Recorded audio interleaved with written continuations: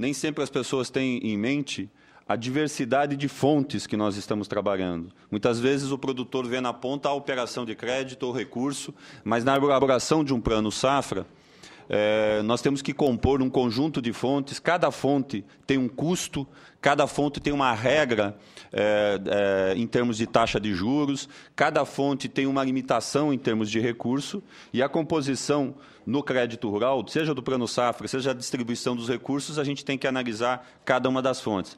Elencamos rapidamente as principais, a exigibilidade do crédito rural, que é um percentual dos depósitos à vista destinado à agricultura. Hoje isso representa algo em torno de 44 bilhões de reais. No momento, nós estamos, em vez de 25, estamos com 29, porque durante a crise a gente elevou de 25 para 30, agora está caindo novamente 1% ao ano, até chegar a 25%, é, como era antes do processo da crise.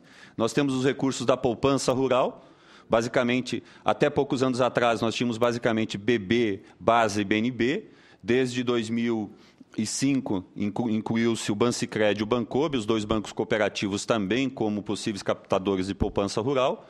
E, além disso, mais recentemente abriu-se para que os bancos privados também pudessem operar com até 10% da sua poupança habitacional em poupança rural. Esta é uma, é uma fonte que a, a taxa de juros é livre. Há uma regulamentação em termos do uso, para crédito rural, mas a taxa é livre para os bancos. Na primeira, é o Conselho Monetário que determina, e hoje está em 6,75. Temos os recursos do BNDES, e aí são usados principalmente para as linhas de investimento, é, seja do, do Ministério da Agricultura e também algumas linhas específicas do PRONAF. Próximo.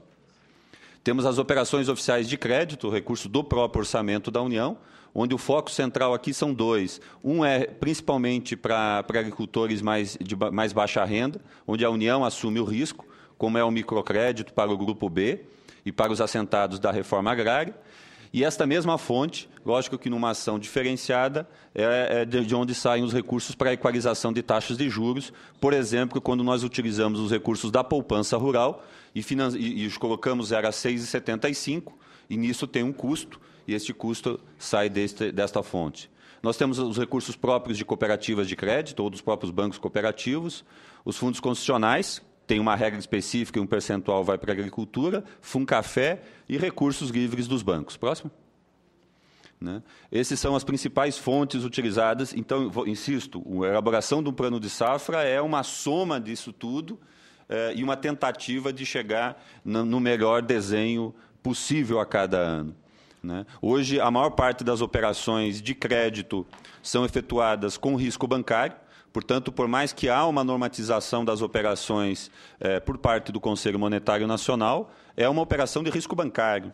Isso é, é, torna, inclusive, muito mais difícil qualquer processo de imposição de algum tipo de renegociação, na medida que o risco é do, do setor privado. E a fonte, em geral, é também uma fonte privada. A participação do Estado acaba se dando na equalização de taxa de juros, mas tanto o funding quanto o risco é da instituição financeira. Qualquer intervenção é, do governo nesse processo, em geral, há necessidade de um pagamento adicional